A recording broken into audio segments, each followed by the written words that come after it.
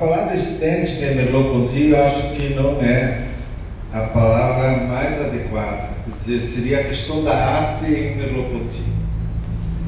Ah, a estética é, é um, uma disciplina filosófica muito estudada, mas muito mesmo no século XX. Acredito que todas as grandes tendências filosóficas, incluindo a marxista, que eu, por onde eu comecei a estudar alguma coisa de estética, até a filosofia analítica e outra, se dedicaram muito, houve muitos autores que se dedicaram a estudar a estética. Ah, os grandes filósofos, ah, e aqui hoje de manhã nós já se falou de dois deles, hoje à tarde mais um, os grandes filósofos, não entro muito nas análises das questões propriamente ditas estéticas ou como uma disciplina filosófica, mas questiono mais a questão da arte. Bem, ah, eu gostaria de dizer que Merleau-Ponty ah, talvez não seja tão conhecido pelos senhores, tanto quanto os outros autores aqui tratados. Ele nasceu em 1900, Maurice Merleau-Ponty, nasceu em 1908, faleceu em 1961, portanto ele viveu 50 e poucos anos ele estava escrevendo uma obra, acredito que teria sido uma obra muito interessante, sobre a origem da verdade, mas que depois aparece, está publicada como o visível e o invisível. A primeira obra de Merleau-Ponty é uma obra sobre a estrutura do comportamento. Também a obra mais famosa de Merleau-Ponty é a Fenomenologia da Percepção. Essas duas obras, se observarem nas referências, cito muito mais psicólogos do que propriamente filósofos. Então há uma influência muito grande. E Merleau-Ponty foi professor de psicologia na Sorbonne, depois foi diretor do Colégio de France. Ah, então ele teve uma influência, a fenomenologia que ele desenvolveu é uma fenomenologia que tem características próprias. Ele é um dos primeiros a ter, a trabalhar nos arquivos na, na, na Universidade de Louvain e daí que nasceu a fenomenologia da, da percepção. Mas ele também escreveu signos, escreveu a a Natureza, um livro sobre a questão da natureza, que são o registro das suas aulas, tem diversos livros que das suas aulas, escreveu Aventuras da Dialética. Eu pretendo falar mais de um outro texto, que ele deixou esse texto uh, inédito, foi publicado após sua morte, que é a, a, a prosa do mundo, tem uma tradução inadequada em português, o homem e a comunicação, né? La prose de monde. Então a fenomenologia é principalmente um método filosófico de, de. Mas a fenomenologia não é apenas um método, é também uma filosofia. Basta ler o prefácio da Fenomenologia da Percepção é, para, para, para tirar essa conclusão. Trata-se, portanto, de retornar ao mundo tal como o experimentamos, isto é, aquém e além dos processos científicos. Além dos pressupostos da ação que temos sobre nós mesmos e sobre o mundo. Trata-se de retornar à percepção pré-reflexiva. Ele escreve na fenomenologia da percepção o seguinte: o mundo está ali antes de qualquer análise que eu possa fazer dele. E seria artificial fazer o derivar de uma série que ligaria as sensações. Depois, os aspectos perceptivos do objeto. quando ambos são justamente produtos da análise e não devem ser realizados antes dela. A análise reflexiva acredita seguir em sentido inverso o caminho de uma constituição prévia e atingir no homem interior, como diz Santo Agostinho, um poder constituinte que ele sempre foi.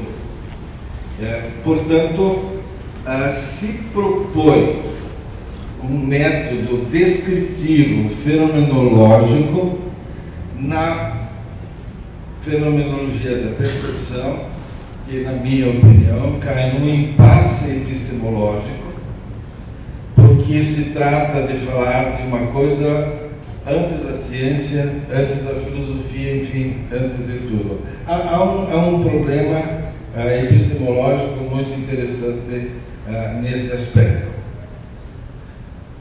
Mais adiante, na página que eu acabei de ler, que é a página 5, ele diz que o real é um tecido que não espera anexar nossos juízos ou imaginações. A percepção não é ato nem ciência do mundo, mas o fundo sobre o qual todos os atos se destacam.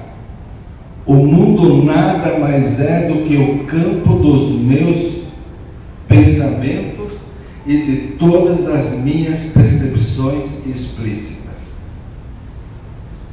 Assim, as representações científicas elas aparecem como ingênuas e hipócritas. É preciso retornar às coisas mesmas. A descrição fenomenológica exclui toda análise e toda explicação científica. Ela pretende ser descrição. Eu não vou entrar nessa questão, só estou falando disso porque é absolutamente necessário partir dessa filosofia para entender o que, que ele vai falar a respeito da obra de arte. Então, diante dessas posições, podemos levantar a hipótese de que Merleau-Ponty cai em algumas contradições. Inviabiliza a análise científica de qualquer fenômeno, pois é impossível retornar as coisas antes de serem descritas e analisadas. A fé perceptiva é por natureza obscura. Não se pode ver a percepção de fora. Deslizar sobre ela não é propriamente vivê-la. Podemos ainda concordar com ele que a redução em fenomenologia não pode ser realizada absolutamente. No entanto, se isto é filosoficamente difícil de ser efetivar. Talvez a arte moderna, no caso, autores como Picasso, Braque, Gris, citados por ele, chamados de cubistas, pode fazer essa descrição do real. Isto é, aproximar-se dos objetivos do método fenomenológico e do fenômeno da própria percepção. Uh, portanto, mais do que o estético, Merleau-Ponty tem em mente a arte moderna, especialmente a pintura. Embora também fale de literatura, de música e um pouco de cinema. Duas questões são postas e necessitam, portanto, de explicação. A primeira é a própria relação entre arte e estética e a segunda entre a arte contemporânea e a história das artes visuais. Aliás, Merleau-Ponty está mais interessado na relação entre arte e percepção e não tanto na dimensão estética, que, no meu modo de ver, também é uma dimensão ética. Na fenomenologia da percepção, ao analisar, por exemplo, o corpo, corpo próprio, uh, afirma que o corpo se assemelha muito mais a uma obra de arte do que a qualquer outro objeto. Na prosa do mundo, Merleau-Ponty examina no interior da noção de expressão, que é uma das noções principais desse texto, ele examina a relação entre sistema, isto é, entre a língua, o sinal, o código e a experiência, isto é, a vida do pensamento. Ele entende a expressão como substituição sonora e visível do pensamento. Substituição sonora e visível da experiência. Ele afirma, num capítulo chamado O Fantasma de uma Linguagem Pura, o seguinte: a expressão consiste em substituir as alusões confusas que cada um dos nossos pensamentos faz a todos os outros por atos de significação de que sejamos verdadeiramente responsáveis, porque o exato alcance é conhecido por nós. É recuperar para nós a vida de nosso pensamento. E o valor expressivo do algoritmo fica inteiramente suspenso à relação sem equívoco das significações derivadas com as significações primitivas. E destas com sinais que por si mesmo, por si mesmo insignificantes, o pensamento só encontra o que ali colocou.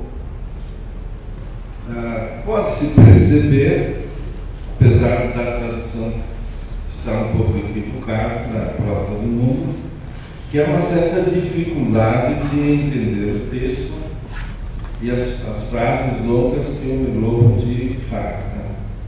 Nesse sentido, o Merleau-Ponty, para ele, três quartos do que se diz passa despercebido. A linguagem se faz esquecer na medida em que ela consegue exprimir-se. Quando alguém fala, os sinais são logo esquecidos. Só permanece o sentido, pois a perfeição da linguagem é ignorada. E nisto está a virtude da própria linguagem, tanto da linguagem falada quanto da linguagem falante. Quando lemos um livro, por exemplo, ele, Merleau-Ponty insiste como um indivíduo único e irrecusável antes das letras e das páginas. É a partir do todo que se pode entender, portanto, os detalhes. A leitura é semelhante ao acender o fogo. No início, é difícil aproximar o fósforo. É necessário esforço para desencadear o fogo. Mas logo depois, a fogueira arde por si no início, na leitura, contribui-se com um pouco de pensamento. E, repentinamente, as palavras me despertam, o fogo pega, meus pensamentos ardem. Depois desse esforço do leitor, há um momento em que o livro toma posse do leitor. Nisto está o momento da expressão.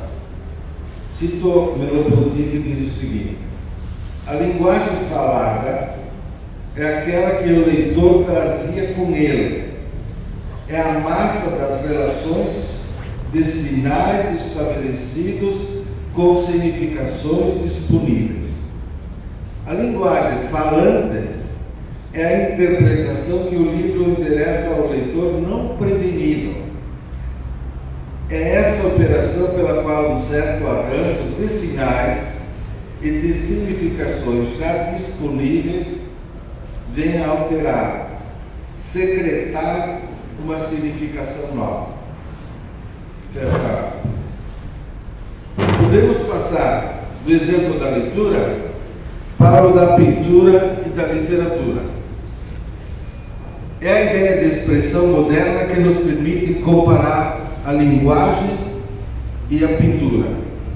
Uma vez superada a concepção clássica da arte e da linguagem, essa ideia de representação dos objetos em favor de uma concepção de expressão criadora, podemos entender melhor o fenômeno da linguagem e da pintura atual. No capítulo sobre a linguagem direta, ainda em A Prosa do Mundo, Merleau-Ponty tece uma série de considerações sobre pintura e algumas aproximações com a literatura. Para começar, ele afirma que a perspectiva é um dos meios da representação.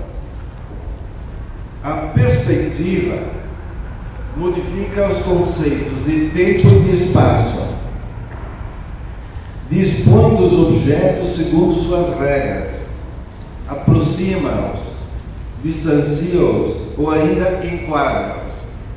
Os pontos de fuga e as linhas do horizonte dependem, portanto, da perspectiva Nesse sentido geral, até a pintura clássica, no próprio momento da representação, é criadora. No entanto, a pintura moderna é mais criadora. O próprio pintor torna-se tema da pintura. Não é mais o aveludado do pêssego que se procura. É como Braque, o aveludado do quadro. A pintura não existe mais para a fé ou para a beleza. Ela é para o indivíduo. Ela anexa o mundo ao indivíduo. Enquanto o quadro clássico se bastava e se oferecia à contemplação, o quadro moderno pode estar inacabado em duplo sentido Primeiramente, pretende-se apenas a expressão imediata do instante e não o acabamento da obra, isto é, a expressão bruta. Ou, no segundo plano, o acabamento não é mais considerado necessário. A obra não precisa ser necessariamente acabada, executada, perfeita. Não mais não são mais necessários na arte moderna os laços de união entre a obra válida e a obra acabada, tendo em vista que a própria percepção é, por natureza, inacabada. O inacabamento na obra de arte torna-se, portanto, uma maneira de expressar a própria obra. Outro modo de ser da arte moderna além do retorno ao indivíduo, é a noção de estilo. Você pode ver que ele trabalha com os conceitos tradicionais. Né? Ah. O estilo é entendido como modalidade de relação original com o mundo. Em busca de uma definição de estilo, Merlot escreve o seguinte: O que o pintor procura colocar num quadro não é o seu imediato, a própria nuance do sentir, é seu estilo. E tem tanto a conquistar sobre seus próprios ensaios, sobre o seu dado, como sobre a pintura dos outros ou sobre o mundo. Fecha aspas. O estilo é uma espécie de rastro do próprio pintor. Como diziam,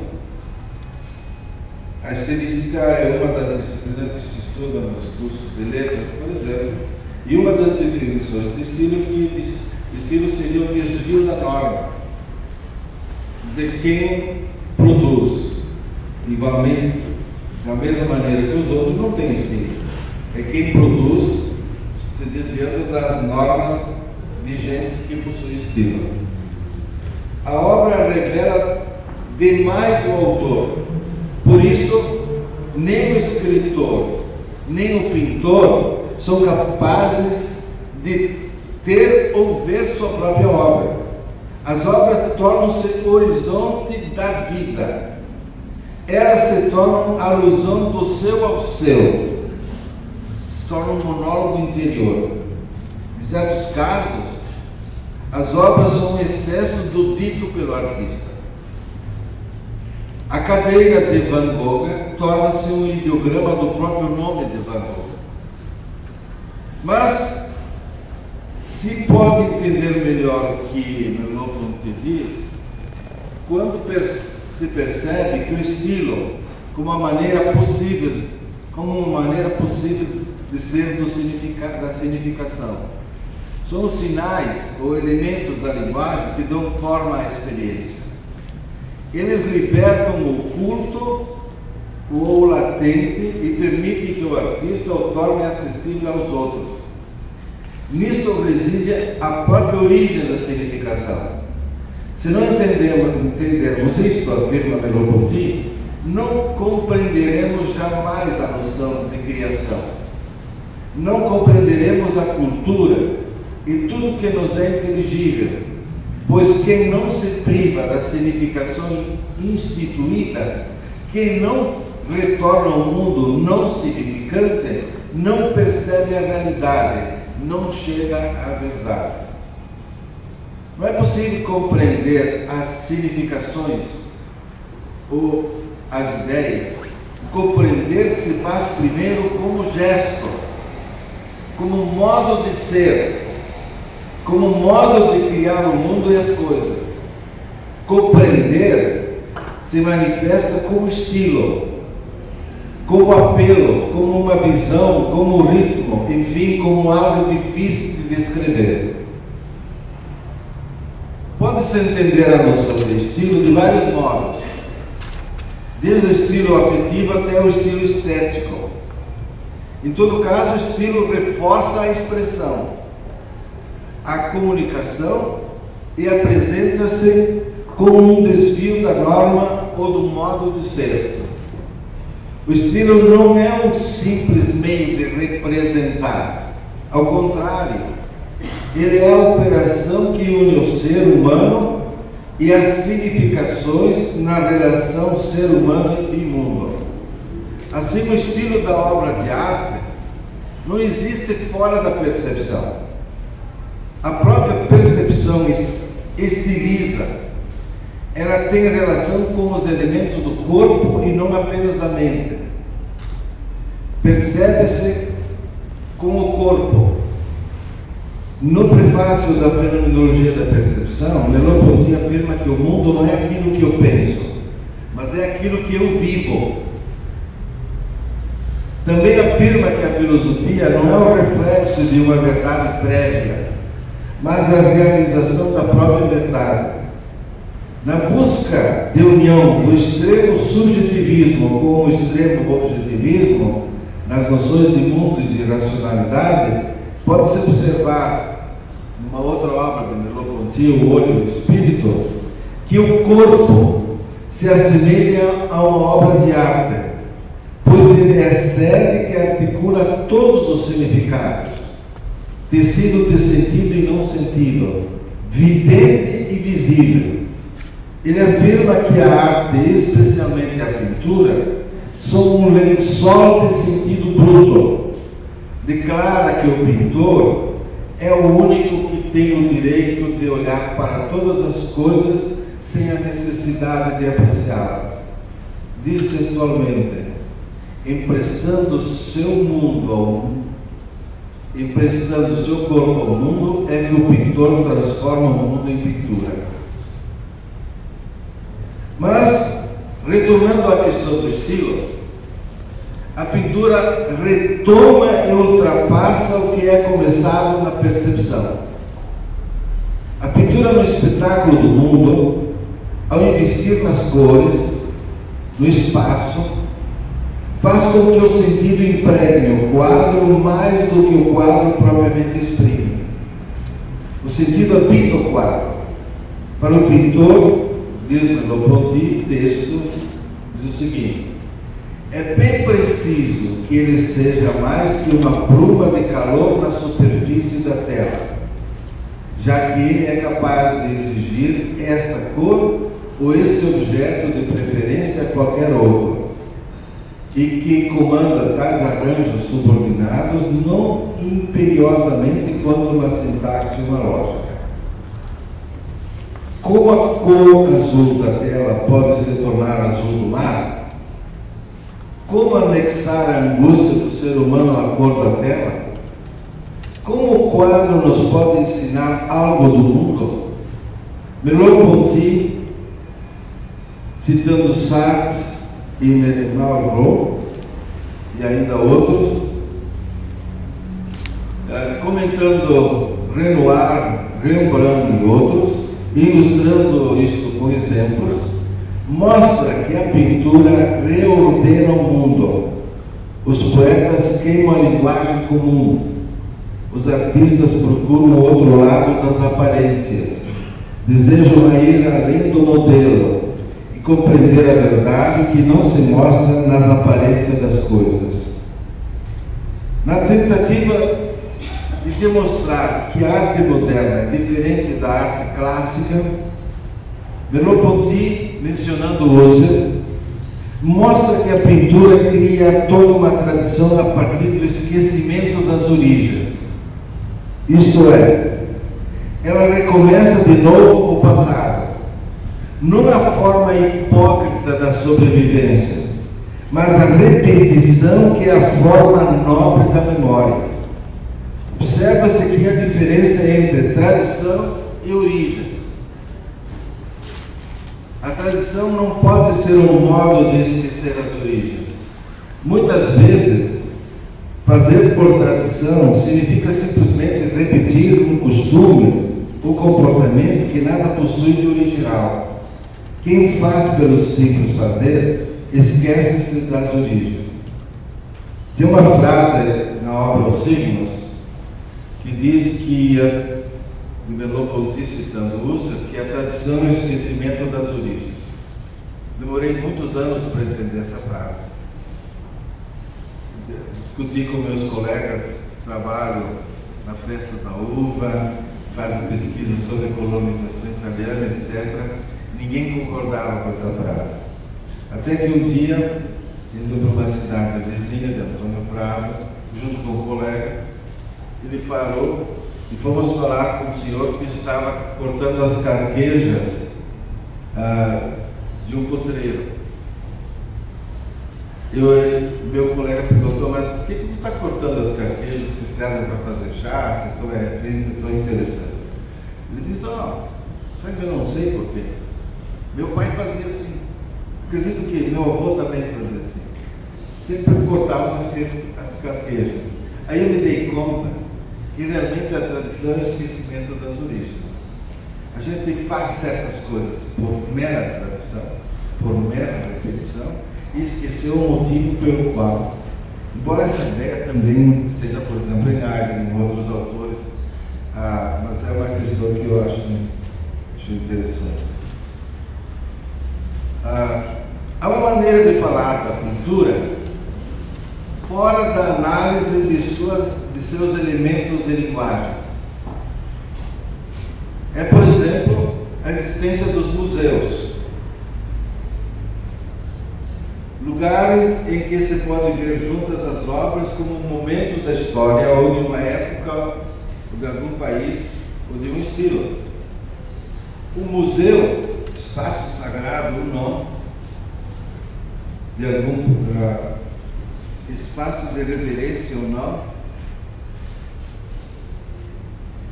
apesar de seus aspectos positivos, ele nos oferece uma má consciência, pois as obras não foram feitas para acabar entre quatro paredes organizadas e comentadas. Na realidade, sente-se na visita ao museu que suas obras não estavam destinadas a refletir um dia a claridade triste daquele espaço o museu, diz Merleau-Ponty, transforma a arte em obra e ao mesmo tempo aponta para os estilos também e, e também desponta nelas algo de prestígio. Mas o pulsar quase secreto de cada pintor, essa história do estilo de cada pintor, essa historicidade secreta, torna-se uma história oficial e pomposa Assim, o museu torna os pintores misteriosos numa espécie de sanguessugas. As obras que nasceram do calor de uma vontade transformam-se numa fraca palpitação. É difícil ou quase impossível explicar as obras de arte. Explicação, análise só dá conta dos detalhes, dos materiais da obra, mas não mostra a ninguém que o, o significado de pintar ou de esculpir. A obra é semelhante a um milagre, está fora da história, está fora do mundo. Merleau-Ponty afirma que quando passamos dos acontecimentos para a expressão, mudamos de ordem, mas não de mundo. Todos os dados da obra tornam-se significantes. Assim, o conhecimento que se toma disto jamais substituirá a experiência da obra, mas ajudará a medir a criação estética. Uma outra experiência estética ocorre com as miniaturas e as moedas ampliadas pelas fotografias em outros meios, pois as pessoas maravilham-se de encontrar nelas escondido o mesmo estilo das grandes obras. Desde que sabemos perceber, olhar, nos mover, nasce um encontro entre nós e a obra. Olhar vai à direção do objeto e lá se instala com autoridade no ser e ali se conduz como em país conquistado.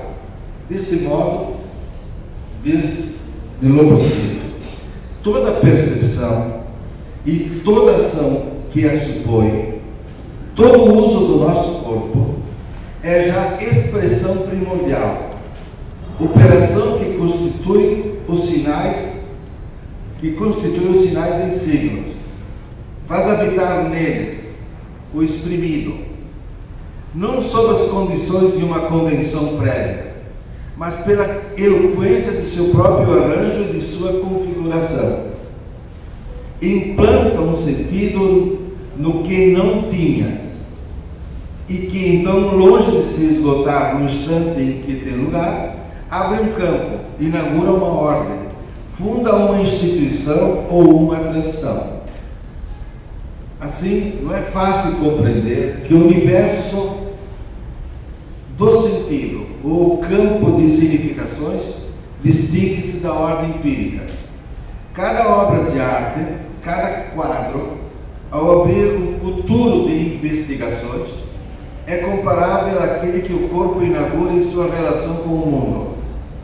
Além da experiência corporal, a cultura prolonga os limites da vida individual, institui a vida, a consciência e uma nova história. Nesse redemoinho de relações, a percepção da obra de arte realiza a junção do individual e do universal. A arte nos instala em vidas que não são as nossas. Os traços e as cores do quadro são gestos arrancados de mim pelos próprio, pelo próprio gesto que deseja dizer algo. Há um transporte no quadro ou na fala que une aquele que fala com aquele que ouve. História, linguagem e percepção são três âmbitos que legitimam a pintura como linguagem. Há na pintura um sentido perceptivo, Vivem nela palavras de uma vida surda, embora não se possa admitir que a linguagem não procede distintamente da pintura. Na realidade, um romance exprime como um quadro. A virtude do romance e do quadro não estão no assunto, mas estão na inauguração de um estilo, de um sentido. Merleau-Ponty afirma o seguinte: o que é insubstituível na obra de arte, o que faz dela não somente uma ocasião de prazer, mas um órgão do espírito cujo análogo se encontra em todo o pensamento filosófico ou político, se ela é produtiva, é que ela contém melhor que ideias, matrizes de ideias. Ela nos fornece emblemas dos dos quais jamais pararemos de desenvolver o sentido. E justamente porque se instala e nos instala num mundo de, do qual não temos a chave, nos ensina a ver e nos faz pensar como nenhuma obra analítica pode fazê-lo, porque nenhuma análise pode encontrar no objeto outra coisa além do que nele pusemos. Fecha aspas. Espera-se da arte não limitar-se à expressão do já sabido. Ela, com sua linguagem conquistadora, pode nos oferecer experiências estranhas. O sentido próprio da obra de arte não é logo perceptível como uma deformação coerente imposta ao visível. Dentro dessas condições, surgem as relações entre a técnica e o sentido da obra de arte. Daí a função da crítica de explicar a nós mesmos o que percebemos no romance e por que o percebemos. A linguagem da crítica substitui uma outra linguagem, isto é, é como a descrição de um rosto sobre um, trans... sobre um passaporte que não nos permite imaginá-lo. Há, portanto, uma, um distanciamento natural entre a crítica e a obra de arte. O trabalho de interpretação da crítica esbarra no mundo oculto, no sentido da obra, embora ela possa falar dos andaimes, dos padrões externos da obra. A pintura, diz ainda Merleau-Ponty, está sempre por fazer. As obras produzidas acrescentam-se às obras feitas. Há um contínuo recomeço, uma negação do passado para poder ultrapassá-lo, valorizá-lo e recomeçá-lo. O preço da novidade é, nesse caso, o esquecimento do passado, pois, diz Merleau-Ponty sobre o homem que escreve, diz o seguinte: se não se contenta em continuar a linguagem que recebeu, ou em redizer as coisas já ditas, não quer também substituí-la por um idioma que, como quadro, se baste e seja fechado sobre sua própria significação. Quer realizá-la e destruí-la ao mesmo tempo, realizá-la destruindo-a ou destruí-la realizando-a. Fecha aspas. Depois de falar do que a pintura quer conservar, o passado em seu espírito e seu sentido, Merleau-Ponty ainda declara o seguinte: A primeira pintura inaugura um mundo. A primeira palavra abre um universo. Enfim, a linguagem diz, e as vozes da pintura são as vozes do silêncio. Se exprimirmos o sentido desta pequena palavra, para dizer, se esclarecermos o que faz o preço da linguagem, acharemos nela a intenção de desvendar a própria coisa, de ultrapassar o enunciado em direção do que ele significa.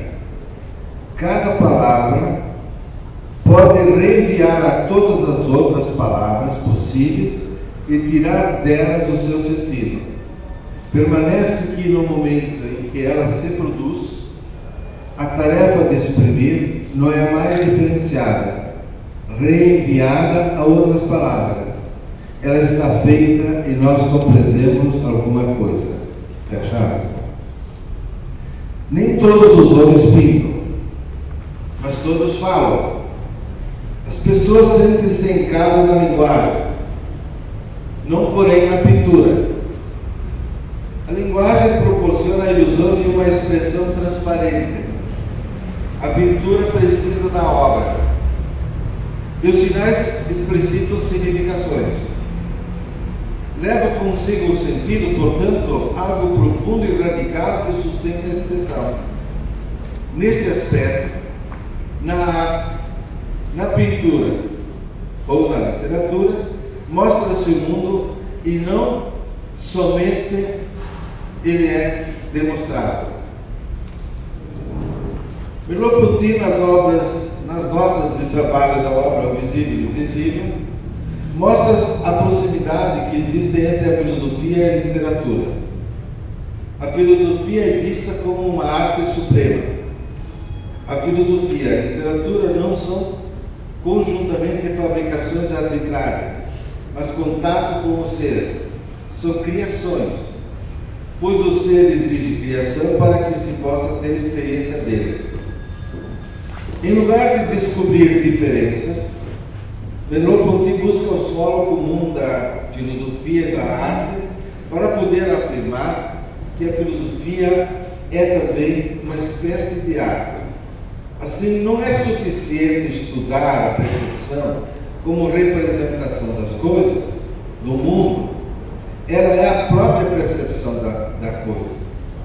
Nesse sentido, arte e filosofia encontram-se aquém das reflexões estéticas e além das explicações analíticas. A filosofia é vista dentro de um giro tão radical que é, que é impossível realizá-la no modo como a tradição a constrói. Análise da coisa, do mundo, do ver, de nós e de tantos outros cortes epistemológicos, oferece-nos um labirinto de dificuldades e contradições.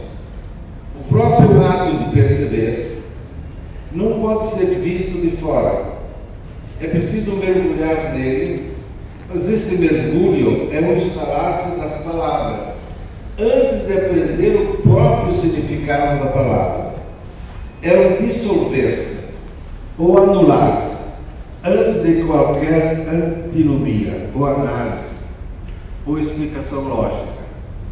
Todavia, essa radicalidade de intuição e de pensamento, essa confusão de horizontes, talvez não se aplique nem à arte nem à filosofia, sob pena de perdermos sua vigência e significado na história social da humanidade.